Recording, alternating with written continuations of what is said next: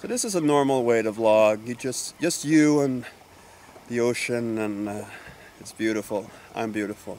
You're beautiful. We're all beautiful. Not all, but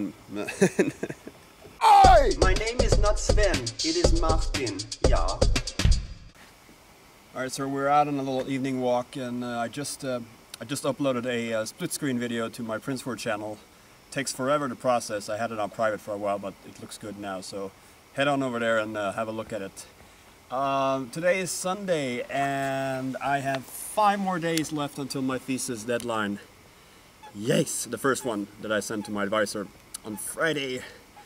And uh, whoo, yeah. Yeah. what are you doing today? What are you doing today? Like today, today now, when you're watching the video, what are you doing today? This was back in the year 2010.